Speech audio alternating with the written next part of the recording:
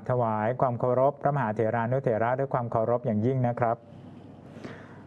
เจริญพรกัลยาณมิตรลูกพระธรรมหลานหลวงปู่หลานคุณยาย และท่านสาธุชนที่รับชมซูมทั้งในและต่างประเทศทั่วโลกนะ กลับมาพบกับรายการมีเรื่องมาเล่ากับหลวงพี่สนิทวงทุกวันจันทร์ถึงวันเสาร์เวลาประมาณ 16นาฬิกาถึง 17นาฬิกาและรีลันในเวลา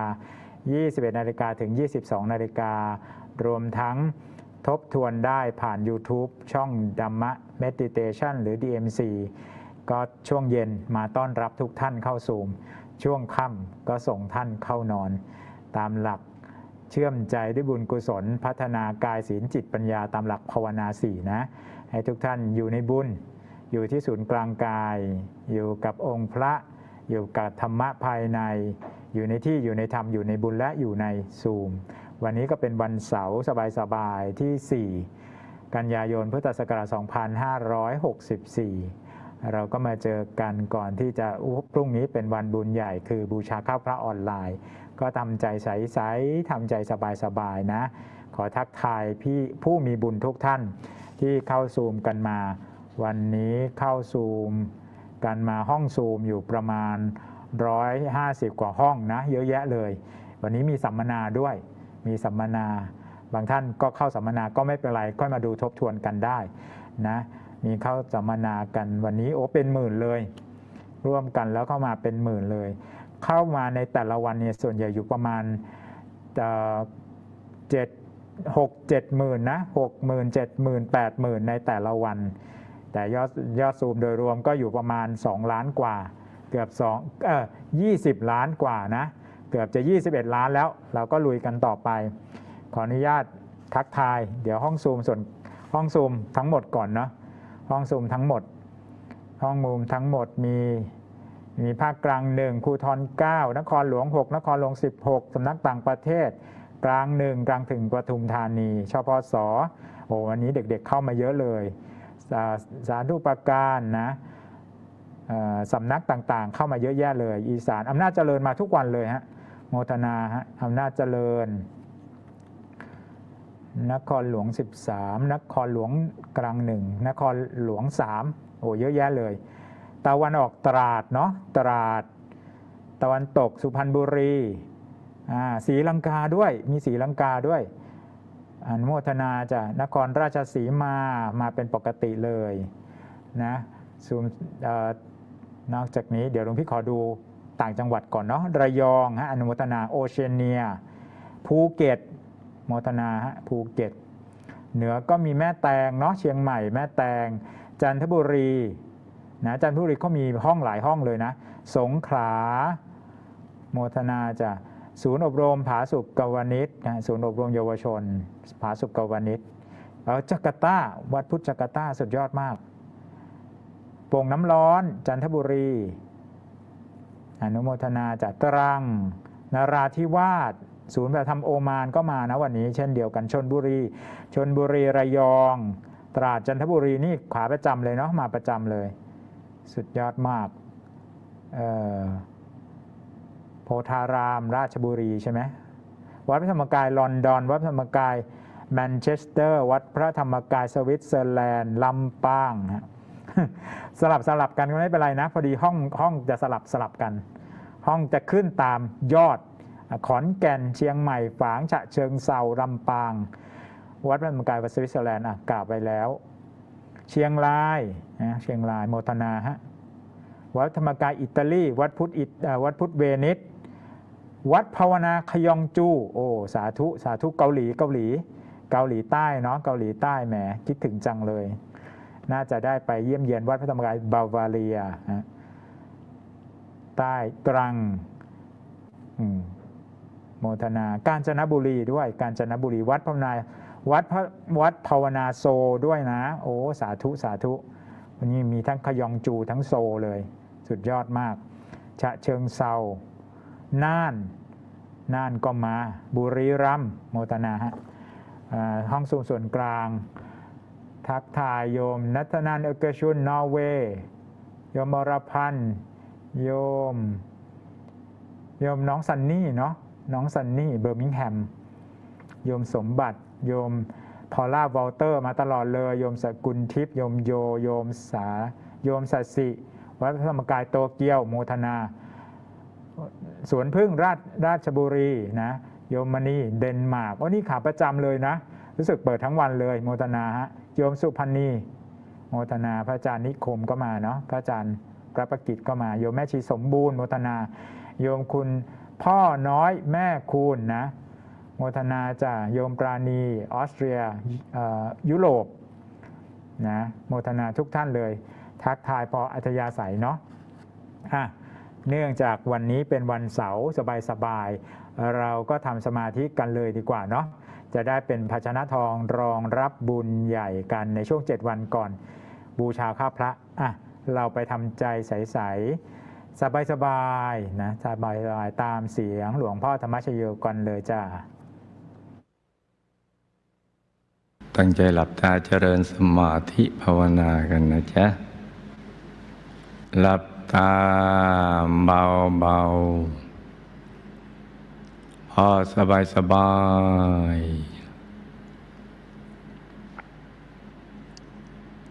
ผ่อนคลายทุกส่วนของร่างกายของเรานะจ๊ะ ทั้งเนื้อทั้งตัวให้รู้สึกสบาย ต้องสบาย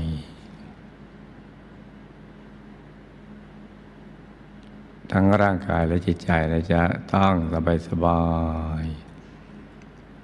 ต้องผ่อนคลาย แล้วก็ทิ้งทุกอย่างปล่อยวางทุกสิ่ง รวมใจ กลับเข้าไปสู่ภายใน ให้ไปหยุดนิ่งนิ่งนุ่มนุ่มอยู่ที่ศูนย์กลางกายฐานที่เจ็ด ซึ่งอยู่ในกลางท้องของเรา ในระดับที่เนื้อจากสะดือขึ้นมาสองนิ้วมือนะจ๊ะ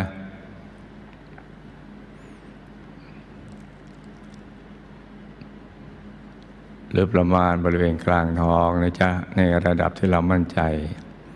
ว่าเหนือจากสะดือขึ้นมาสองนิ้วมือนะ รวมใจไปหยุดนิ่งนิ่งนุ่มนุ่มอย่างเบาเบาสบายสบายทำใจใสใสใจเย็นเย็นนะจ๊ะให้ใจใสใสใจเย็นเย็นแต่ใจไปตรงกลาง กลางกายอย่างเบาๆ สบายสบาย ให้ใจนิ่งๆ นุ่มๆ เบาๆ สบายๆใจใสๆ ใจเย็นๆ นะจ๊ะ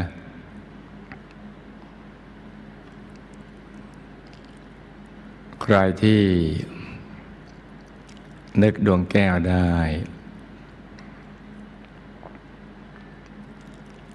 การนึกดวงแก้วอย่างเบาๆ สบายๆดวงแก้วที่กลมรอบตัว ใส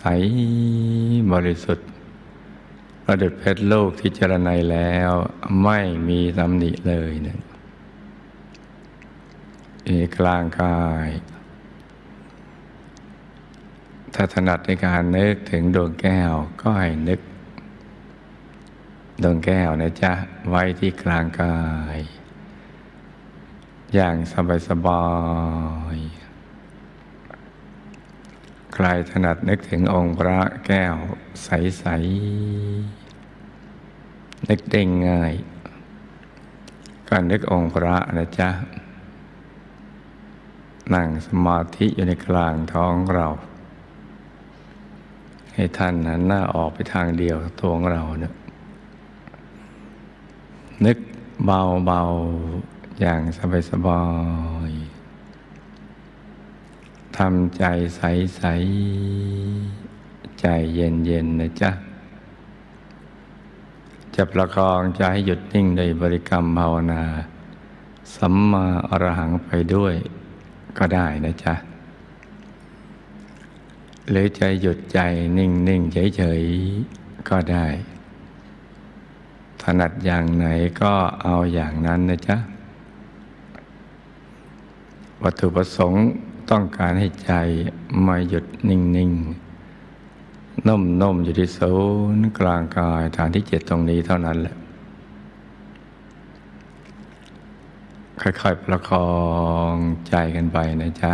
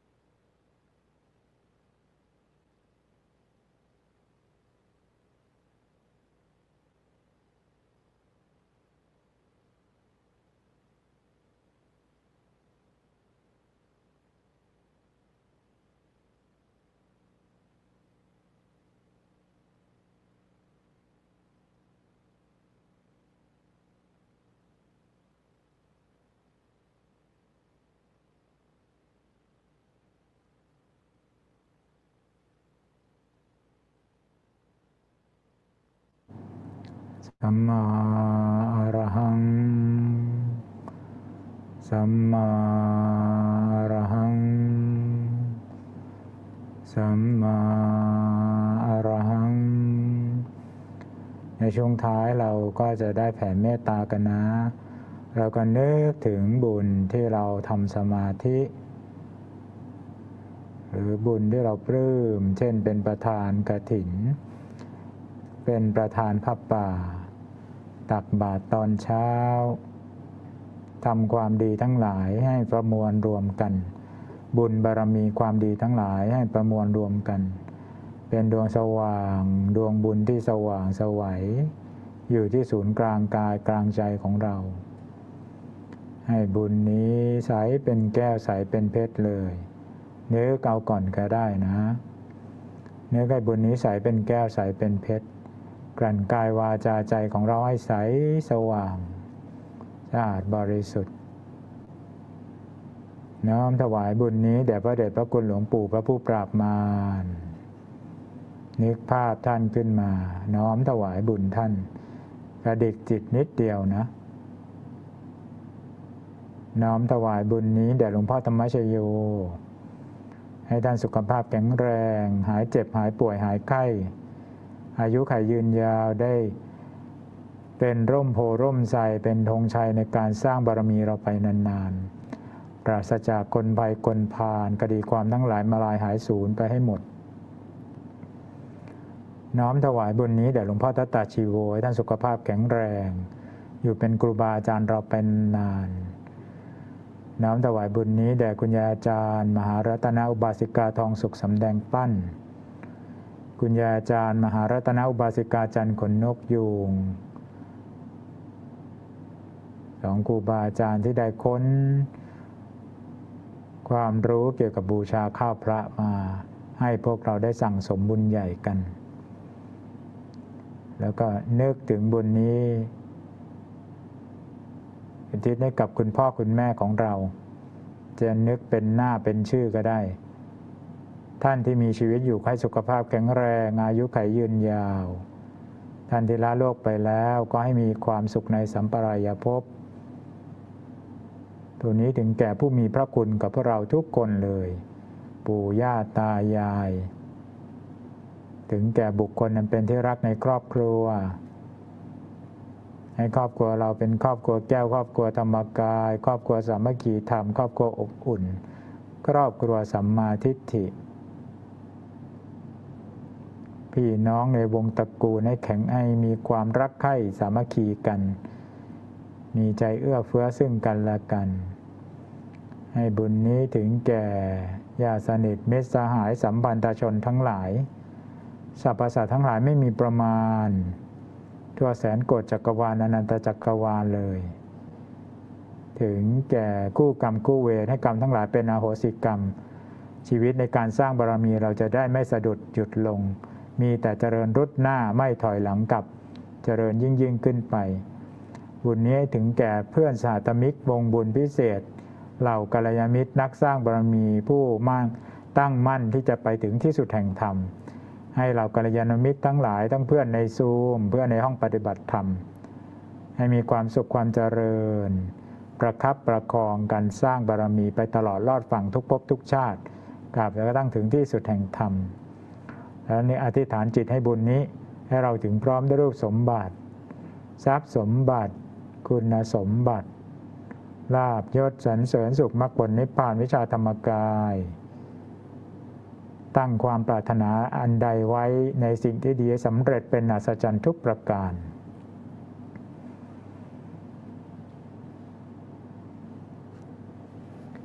สัพเพพุทธาปรปตาปัจเจกานันจะยังพลัง อรหันตานันจะเตเชนะระคังพันธามิสัพพโส เตอัทลธาสุขีตาวิรุณหาพุทธศาสเน อโรคาสุขิตาโหทะสหสัพเพหิยาติภิสัพพุทธานุภาเวนะสัพพธรรมานุภาเวนะสัพพสังขานุภาเวนะสัทธาโสถีพระวันตุเต ก็ เริ่มต้นใจใสๆโดยการทำใจ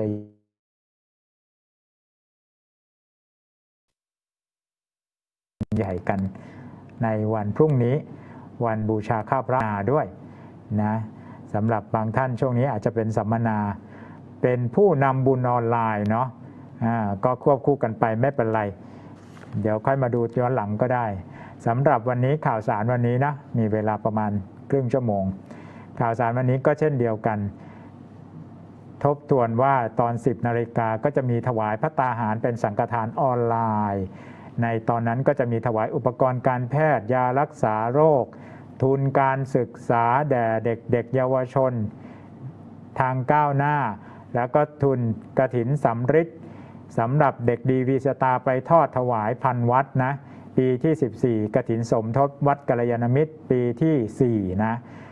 รวมทั้งถวายผ้าไตรจีวร ข้าวสารอาหารแห้งยารักษาโรคทุนโควิด ก็มีนะกองทุนสำหรับสนับสนุนโควิด เป็นเรื่องยายาเวชภัณฑ์ทั้งหลายถุงยังชีพ รวมทั้งรัตนบุปผาบูชาพระมหาธรรมกายเจดีย์โอช่วง 10 โมงนี่บุญเป็น 10 รายการเลย ไปเป็นเจ้าภาพก็ได้ ไปร่วมอนุโมทนาบุญก็ได้นะ แล้วสำหรับ ตอน 18นาฬิกา30 นาทีเนาะวันนี้ วันเสาร์เนาะวันเสาร์ที่ 4 กันยายน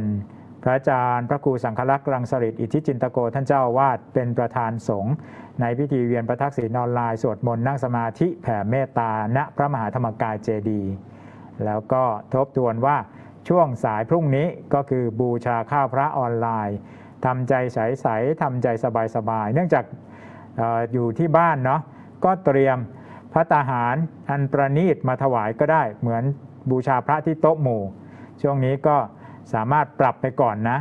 ปกติต้องมารวมกันบูชา บูชาข้าพระที่วัดพระธรรมกาย แต่ช่วงนี้เนื่องจากมีโซเชียลดิส a ทนซิ่งก็อนุมัติอนุญาตเนาะให้จัดเตรียมพระตาหารอันประณีตถวายบูชาข้าวพระที่โต๊ะหมู่บูชาที่บ้านแล้วร่วม รวมใจรวมกายนะเข้าซูมมาบูชาข้าวพระพร้อมกันเลย แล้วก็ส่วนช่วงบ่ายก็อย่าลืม สัมมนากถินธรรมชัย ปีพุทธศักราช 2564 นะวันอาทิตย์นี้ 13นาฬิกา30 นาทีถึง 14นาฬิกา30 นาทีโดย พระครูธรรมทรนารักษ์ยานารักษ์โขนะผู้อำนวยการสำนักกัลยาณมิสากลก็มาร่วมใจกัน รวมทั้งนี่เลยเอ่อ วันเสาร์คืนนี้เนาะคืนนี้วันที่ 4 นะ วัดพระธรรมกายเบอร์ลินเป็นเจ้าภาพ ในการเจริญพุทธมนต์นะห้าทุ่มครึ่ง ถ้าไม่ง่วงจนเกินไป หรือทางภาคพื้นยุโรปทั้งหลายนะ เชิญชวนเลย ภาคพื้นยุโรปที่ EU เนาะแต่ภาคพื้นยุโรปตอน 6 โมงครึ่งนะ18นาฬิกา30 นาที ส่วนอังกฤษก็จะเป็นเวลา 17นาฬิกา30 นาที ถ้าประเทศไทยก็จะเป็น 23นาฬิกา30 นาที รวมใจสวดมนต์นั่งสมาธิ วัดในยุโรปทั้งหมดประมาณ 28 วัดนะ ครั้งที่ 51 แล้ว ก็มารวมกันได้เนาะก็คืนนี้เนาะคืนนี้มารวมกันต่อไปอพิธีปุพพเปตพรีครั้งที่ 113 นะ วันจันทร์นะวันจันทร์ที่ 6 กันยายนนะ10นาฬิกาเหมือนกัน นอกจากถวายสังฆทานออนไลน์ แล้วก็มี บุญเยอะแยะเลยรวมทั้งปุพพเปตพรีออนไลน์ด้วย จะได้อุทิศบุญให้กับบรรพบุรุษ ในวันในวันจันทร์เราก็นำภาพบรรพบุรุษของเรามาไว้หน้าจอด้วยนะมาไว้หน้าจอด้วย จะได้อุทิศบุญให้กับบรรพบุรุษ แล้วก็เป็นผู้ที่ร่วงรับในสถานการณ์โควิดรวมทั้งผู้ที่เสียชีวิตใน 4 จังหวัดชายแดนภาคใต้ด้วย วันจันทร์นี้เนาะวันพระแรม 14ค่ำเดือน 9 นะ มาร่วมบุญกันได้อ่าแล้วก็ น้อมถวายบุญนะเมื่อกี้เราก็จริงเราก็น้อมถวายไปแล้วล่ะ แต่ก็อะตามธรรมเนียมของเราก็นึกถึงน้อมถวายบุญนี้แด่พระเดชพระคุณหลวงปู่พระผู้ปรับมารนึกสบายๆนึกให้ใจใสใสสบายๆนึกถึงหลวงปู่นะแล้วก็นึกถึงบุญไว้ที่ศูนย์กลางกาย ให้บุญนี้เป็นบุญใสๆเป็นบุญใสเป็นแก้วใสเป็นเพชรเลย น้อมถวายบุญนี้แด่พระเดชพระคุณหลวงปู่พระผู้ปรับมารนะ ทำใจใสๆอะต่อไปก็เป็นข่าวบุญเนาะข่าวบุญ ข่าวบุญ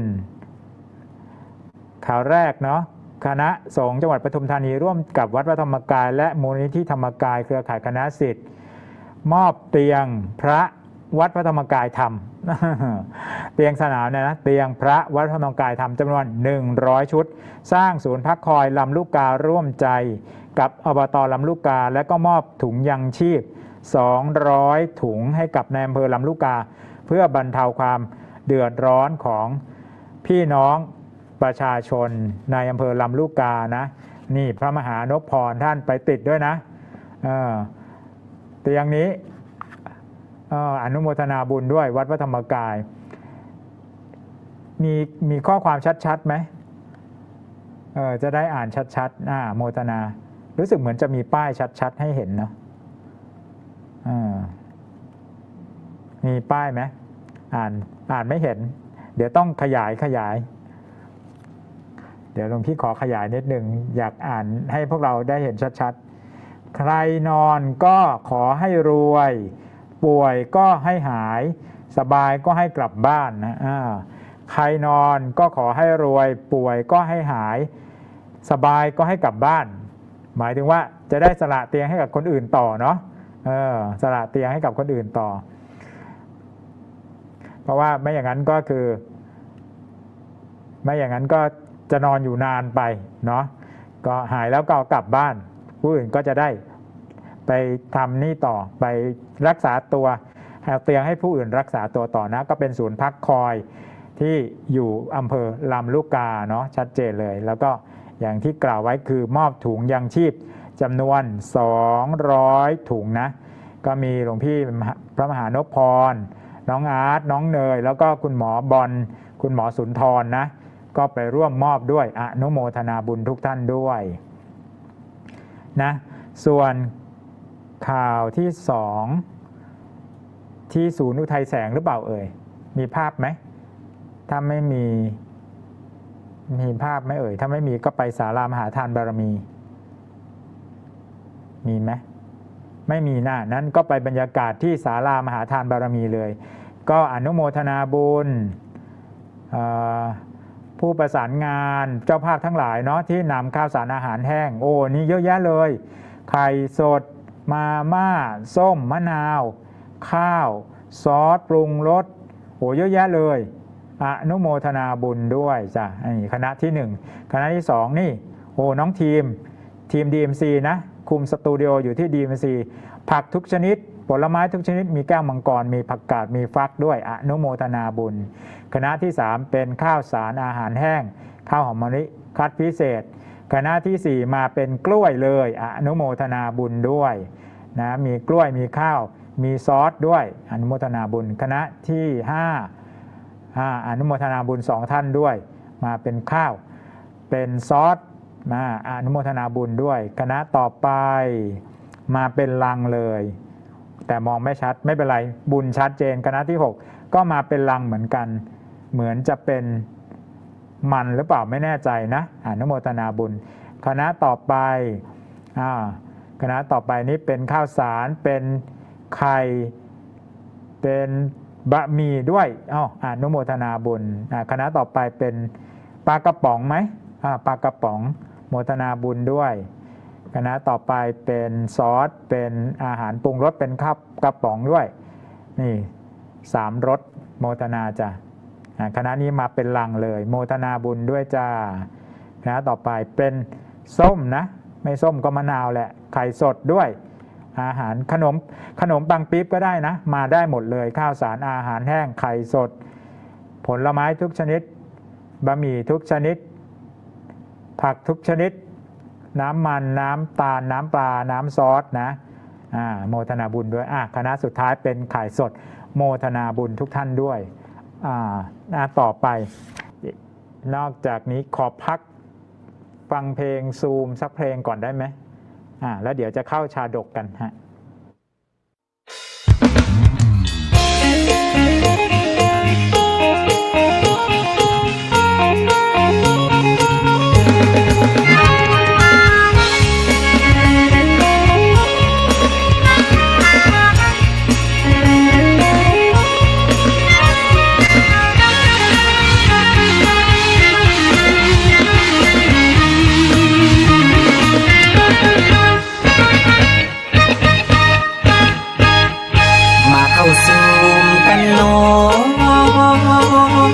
โอละนอโอละเนอ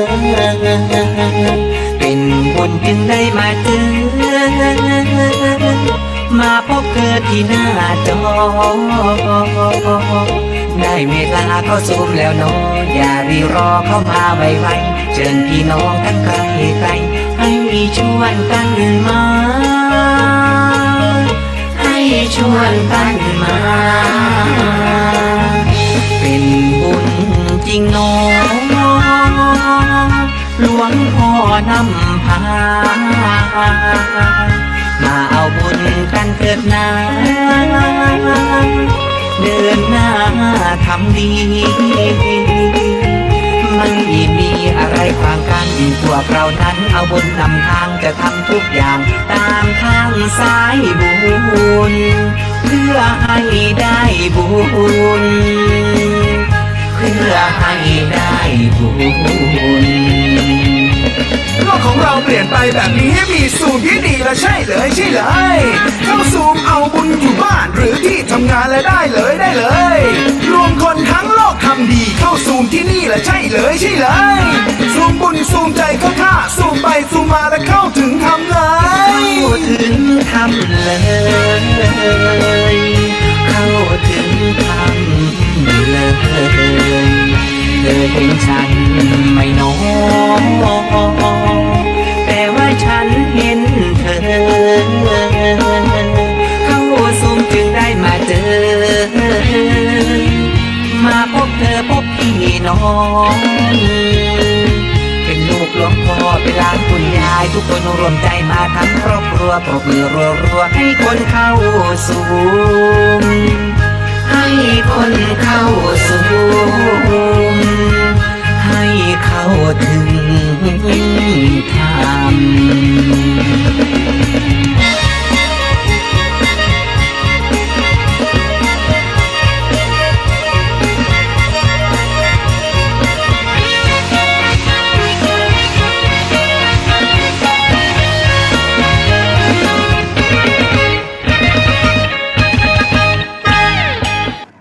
ธรรมะในวันนี้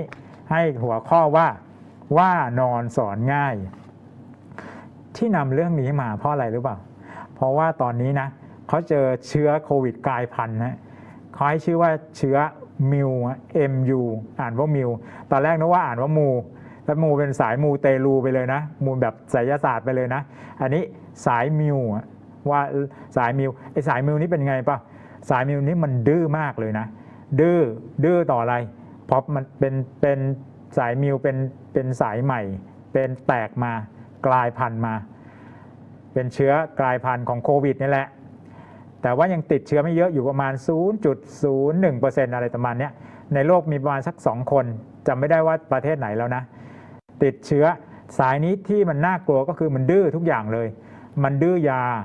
ดื้อวัคซีน ดื้อภูมิคุ้มกัน คือมันดื้อทุกอย่างเลยนะ เราอย่าไปเจอสายดื้ออย่างนั้นเลย เราเป็นเป็นคนว่านอนสอนง่ายกันเถอะ ก็เลยมาเลือกเลือกเรื่องนี้มาเล่าให้ฟังนะ ถ้าสายดื้อเดี๋ยวจะไปเจอกับสายดื้ออย่างนั้นนะไปเจอโควิดนะบางคนติดโควิด แต่ไม่ต้องใช้ฟาวินะ ใช้แค่ฟ้าทลายโจรก็ แล้วดูแลสุขภาพดีๆ ก็สามารถหายป่วยมาได้นะ นี่สายแบบว่านอนสอนง่ายไงไม่ใช่สายดื้อฉะนั้นไม่ต้องกลัว แต่พวกสายดื้อนี่ก็อันตรายเหมือนกัน ไอสายมิวเนี่ยเขาบอกว่าสายพันธุ์มิวเนี่ยเขาบอกว่ายังติดไม่เยอะ และยังไม่ใช่เป็นกลุ่มที่จับตาเป็นหลักนะ แต่เป็นกลุ่มจับตาเป็นพิเศษ เพราะว่าเพิ่งเข้ามาใหม่แล้วค่อนข้างดื้อฉะนั้นเราอย่าเป็นสายดื้อเรามาเป็นสายว่านอนสอนง่าย เราก็มาดูว่า เออ คนว่านอนสอนง่ายเขาเป็นยังไงนะ เราไม่ใช่สายดื้อเราจะได้ไม่เจอ โควิดพันสายดื้อนะเอาเจอแบบสมมติสมมติว่าจะต้องเจอ สมมติว่าจะต้องเจอก็เอาแบบที่แบบดูแลง่าย ๆ หน่อยนะกินฟ้าทลายโจรก็พอแล้วอย่างนี้เป็นต้น เรื่องราวก็มีอยู่ว่านำมาจากตีนปัลลัฐมิคชาดก ตีนปัลลัฐนิคัชาดก เรื่องราวก็มีอยู่ว่านะนี่กวางน้อยเลยน่ารักมาก กวางน้อยน่ารักมาก เรื่องราวก็มีอยู่ว่า ในสมัยพุทธกาลเมื่อพระสัมมาสัมพุทธเจ้าท่านโปรดสรรพสัตว์ทั้งหลาย ก็เทศสอน ในพระอารามก็มีทั้งพระภิกษุ สามเณรอุบาสกบาสิกา มาประพฤติปฏิบัติธรรมพอถึงเวลาจำวัดพอถึงเวลาจำวัด พระผู้ใหญ่ก็อยู่ในกุฏิชาวพระใหม่ พระภิกษุบวชใหม่กับอุบาสกก็อยู่ในศาลาบาสิกาก็แยกออกไปอีกส่วนหนึ่งใช่ไหมทีนี้พอกลางคืน พระภิกษุที่เป็น พระบวชใหม่เป็นไง ก็ยังติดวิสัยคารวาสเนาะอาจจะนอนแบบไม่มีสติกลนกัดฟัน โอ้พลิกตัวตะแคงไปมาเยอะแยะเลยนะก็เลยเป็นที่มาให้อุบาสกทั้งหลายบ่นพระใหม่ พระสัมมาสัมพุทธเจ้าก็เลยบัญญัติว่าต่อไปให้พระไม่นอนคลุกคลีกับอุปสัมบันก็คือคนที่ไม่ใช่พระภิกษุ นั่นหมายรวมถึง สามเณรอุบาสกบาสิกาด้วย ไม่นอนในที่เดียวกันอยู่ในเรือนเดียวกันเนาะแยกกันนอน จะได้ไม่ต้องมาปรารบในเรื่องนี้เนาะเพราะบางทีบวชใหม่มาเนาะยังติดวิสัยคารวาสยังไม่ค่อยสำรวมเท่าไหร่ เพื่อความรักษาศรัทธา แก่ผู้ที่ยังไม่มีศรัทธาให้มีศรัทธามากขึ้น ผู้ที่มีศรัทธาอยู่แล้ว ก็มีศรัทธายิ่งยิ่งขึ้นไป ก็เลยแยกกันทีนี้ พอพระราหุลมาบวชเป็นสามเณร ถึงเวลาก็ตามวินัยเนาะท่านก็เลยต้องเวียนไปนอนตรงนั้นตรงนี้ตรงโน้น เพราะว่าจะพักรวมกับกับพระไม่ได้นะนี่เป็นพระโอรสเนาะพระโอรสเจ้าชายสิทธัตถะนะแต่ว่าก็ต้องปฏิบัติอย่างนี้ ทีนี้มีอยู่ครั้งหนึ่งไม่มีที่นอนก็เลยไปนอนในห้องส้วมห้องส้วมของพระสัมมาสัมพุทธเจ้านี่นะมีพระพุทธเจ้าเป็นพุทธบิดาใช่ไหม มีพระสารีบุตรพระโมคคัลลานะ เป็นพระปัจชาเป็นอนุสาวนาจารย์ เป็นคู่สวดนะเป็นให้ให้ให้กรรมวาจาในการบวชเป็นอาจารย์ว่างั้นเถอะเป็นอาจารย์ แล้วมีพระอานนท์เป็นพระเป็นพระเจ้าอาด้วยนะอ๋อนี่มีพระสารีบุตรเป็นอุปชา มีพระโมคคัลลานะเป็นพระอาจารย์ แล้วก็มีพระอานนท์เป็นเป็นพระเจ้าอานั่นแหละ แต่ก็ไม่ได้ประท้วงนะ ก็ไม่ได้ร้องขออะไรก็ไปนอนใน ห้องส้วมห้องที่พระสัมมาสัมพุทธเจ้าอยู่ เรียกก็เวชกุดีพออย่ำรุ่งพระสัมมาสัมพุทธเจ้าจะเข้าห้องน้ำท่านก็กระแอมก่อน เผื่อจะมีใครอยู่ในนั้น ปรากฏสงสัยเขาไม่มีกรอนเนาะปรากฏว่าพระราหุลสำเนียนราหุลก็กระแอมตอบมา แล้วก็ออกมากราบทูลพระพุทธเจ้าว่าพักในนี้พระพุทธเจ้าก็เลยโอ้ไม่ได้แล้วอย่างนี้ถ้าเป็นเรื่องใหญ่เนาะเขาจะ ไปกระจายกันทั่วได้ว่าแหมสามเณรราหุลเป็นถึงลูกเจ้าชายสิทธัตถะโอรสเนาะเป็นลูกหลานกษัตริย์ต้องมาอยู่อย่างนี้ แสดงว่าต่อไปนี่นะ ใครมาบวชเป็นสามเณรไม่ไม่ได้รับความดูแลอย่างดีเท่าที่ควรอย่างเหมาะสม อย่างนี้ใครจะมาบวชนึกออกไหมคือท่านจะไม่ได้ห่วงเฉพาะพระราหุลนะไม่ได้ห่วงเฉพาะสามเณรราหุลแต่ห่วงสามเณรทุกรูป ก็เลยประชุมสงฆ์ บอกเออจะเอายังไงดี ในที่สุดก็เลยสรุปกันว่าบัญญัติว่าอะสามารถอนุญาตให้ภิกษุพักอยู่ในเรือนเดียวกับอุบาสกหรือสามเณรได้ไม่เกิน 3 วัน กรณีที่แบบที่พักมันไม่สะดวก มันไม่พอจริง ๆ เออ ก็เป็นการผ่อนคลายนะซึ่งภิกษุพอจบจากเรื่องนี้ก็กล่าวสรรเสริญ สามเณรลาหุนว่าโอ้โหแม้จะเป็นลูกกษัตริย์ ลูกหลานกษัตริย์ ก็ว่านอนสอนง่ายนะเออบอกให้ไปพักไม่พักกับพระก็ไม่พักกับพระหาที่พักจนได้ แม้จะเป็นห้องน้ำก็ไปพักนะ อย่างนี้เป็นต้น พระสัมมาสัมพุทธเจ้าบอกว่าพระราหุลนะสามเณรราหุลไม่เฉพาะชาตินี้เท่านั้น แม้ตอนเกิดเป็นกวางก็ว่านอนสอนง่าย นี่มาถึงเรื่องเรื่องนี้แหละ ที่เป็นภาพเป็นกวางน้อยนี่แหละ ก็คือใน สมัยหนึ่งเนาะมีฝูงกวางใหญ่ มีพญากวางดูแล น้องสาวกวางก็นำลูกกวางน้อยมาให้พญากวางช่วยดูแล มาให้พญากวางช่วยดูแลพญากวางก็สอนเขาบอกสอนเลยนะ สอนมายาในการรักษาตัวให้รอดพ้นจากนายพานนะพอถึงเวลาสำเร็จวิชาก็ตั้งใจสอนตั้งใจเล่าเรียนอย่างดีนะ พอถึงเวลา ฝูงกวางออกไปกินหญ้าข้างนอกก็ปรากฏว่ากวางน้อยตัวนี้ ติดบ่วงนายพานอย่างที่ภาพ ก็เลยแจ้งบอกเหตุแก่เพื่อนฝูงกวางทั้งหลายว่าให้หนีไปได้เลย เพราะว่าตอนนี้เราติดบ่วงนายพานเรียบร้อยแล้ว กวางทั้งหลายก็หนีกลับไปที่ฝูงไปในป่า แล้วก็บอกนี้กับกับแม่กวางแล้วก็พญากวาง แม่กวางก็ห่วงลูกว่าตกลงที่ ส่งมาให้พญากวางสอนเนี่ยสอนได้หรือเปล่าพญากวางก็บอกว่าสอนเรียบร้อยแล้ว รับรองไอ้กวางเจ้ากวางน้อยตัวนี้ รับรองสู้ได้แน่นอนอนี่สุดยอดมากเลยนะ บอกพอถึงเวลานะ บอกเนี่ยสอนไม่หมดแล้วนะ การนอนสามท่า สอนมายา สอนการลงไปกินน้ำกลางเที่ยงคืน แล้วก็สอนวิธีการกั้นลมหายใจ แล้วก็หายใจ จมูกที่อยู่ติดแนบกับผืนดินนะลวงนายพรานอุบาย 6 อย่างนะอุบาย 6 อย่างมีอะไรบ้างเดี๋ยวมาเล่าให้ฟังนี่ บอกเนนไอกวางน้อยพอติดบ่วงเป็นไงทำอย่างนี้เลยแซงตะกุยดินให้เป็นฝุ่นอยู่ข้างหน้า แล้วเตะฝุ่นให้ฟุ้งกระจายอยู่ราวกับว่าได้ตะกุยจนเต็มแรงแล้ว จากนั้นก็ล้มตัวลงนอนตะแคงนี่ มายากวางก็มีนะ ล้มตัวนอนตะแคงเหยียดเท้าทั้งสี่ออกไปด้านข้าง เกรงตัวทื่อแข็งเหมือนกับว่าตายมานานแล้ว แล้วเพื่อให้แนบเนียนเป็นไงทำตาเหลือกหัวตกลิ้นห้อย ปล่อยน้ำลายไหล ตัวเปื้อนอีกต่างหาก แล้วเบ่งตัวท้อง เบ่งท้องนะ ให้ป่องเหมือนกับท้องอืดอะตายมานานแล้วลากับว่าตายมานานแล้วท้องอืดเงี้ยไม่พอนะ ยังแกล้งถ่ายอุจจาระปัสสาวะเลี่ยราดเลย นะลากับว่าโอ้คุมทวารทั้ง 9 ไม่ได้แล้ว แตกธาตุสี่จะแตกแล้วประมาณเนี้ยทำอย่างนี้ไม่พอกลั้นลมหายใจแล้วก็หายใจแผ่วๆโดยหายใจทางจมูกข้างที่แนบ เออ แต่ลูกพี่อาจถึงตรงนี้ก็งงๆเนาะเอ๊ะมันหายใจจมูกข้างเดียวได้ด้วยเหรอแต่ก็ไม่เป็นไรเนาะอันนี้ก็ตามนั้นเนาะบอกหายใจทางจมูกข้างที่แนบกับผืนดินอยู่ในกอหญ้าประมาณนี้ แล้วก็ทำท้องให้กับเพื่อมน้อยที่สุด พอนอนไปสักพักปรากฏไงผูงแมลงวันก็มาตอมที่อุจจาระปัสสาวะโอ้โหเหมือนตายมากเลย พอนายนายพรานมาเห็นเนาะมาเห็นอู้ลูกกวางน้อยท้องอื่นแล้ว ดีที่ท้องท้องก็ดังปูปูเพราะว่าแบ่งท้องไว้ ตายแน่แล้ว ก็จากนั้นก็ถอดบ่วงเลย เพราะว่าแมลงวันมาตอมแล้วนี่นะนี่มายากวางก็มีนะเออก็ถอดบ่วงตั้งใจว่าจะชำแหละ อบ่วงหลุดเท่านั้นแหละ ลูกน้อยก็กระลูกกวางน้อยก็กระโจนหนีเร็ว ไม่คิดชีวิตเลย กลับไปหาฝูงกวางได้สำเร็จเป็นอัศจรรย์เลยนะ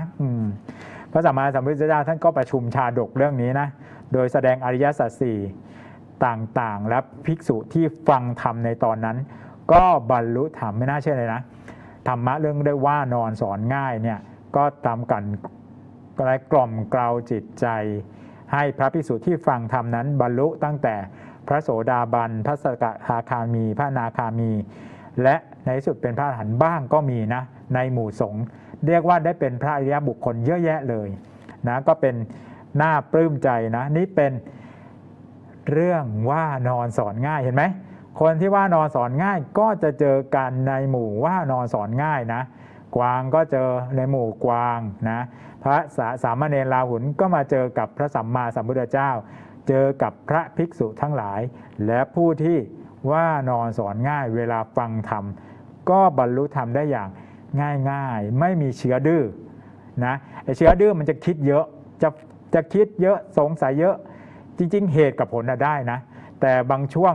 เวลาให้ฟังธรรมก็ให้ปล่อยใจตามพระสัมมาสัมพุทธเจ้า ปล่อยใจตามเสียงพระอาจารย์เนี่ยฝึกการมี ไม่มีเชื้อดื้อด้วยกันว่านอนสอนง่ายนี่เองนี่ตามนี่สามเณรลาหุนเลยนะ ถ้าว่านอนสอนง่ายเนี่ยพระอาจารย์สอนอะไรก็ปฏิบัติทำตามนั้น เวลาปฏิบัติธรรมก็สติสบายสม่ำเสมอแล้วก็หมั่นสังเกตนะอย่างนี้เป็นต้นก็จะมีโอกาสในการบรรลุธรรม และช่วงนี้นะ โครงการง่ายแต่ลึกชวนพวกเรามาปฏิบัติธรรมนะ less is more ง่ายแต่ลึกนะ simple not profile เนาะ simple yet profile อ่าก็คือง่ายๆแต่ลึกซึ้ง ง่ายๆแต่ลึกซึ้งนะง่ายแต่ลึก เราก็มันประคองใจหยุดประคองใจนิ่งไว้ที่ศูนย์กลางกาย แล้วก็ปฏิบัติทำให้เข้าถึงธรรมโดยเฉพาะพรุ่งนี้ วันบูชาข้าพระ ก็เตรียมกายวาจาใจให้ใส ๆ สบาย ๆ นะ ตามว่านอนสอนง่ายเลย บอกให้สบายๆก็สบายๆนะ เตรียมกายวาจาใจเพื่อที่เป็นภาชนะรองรับบุญใหญ่และปฏิบัติทำให้เข้าถึงพระธรรมกายภายในตัวกันทุกคนเลยวันนี้ก็ฝากไว้เท่านี้กราบถวายความเคารพพระมหาเถรานุเถระด้วยความเคารพอย่างยิ่งนะครับ เจริญพรกัลยาณมิตรลูกพระธรรมหลานหลวงปู่หลานคุณยายและท่านสาธุชนที่รับชมซูมทั้งในและต่างประเทศทั่วโลกนะ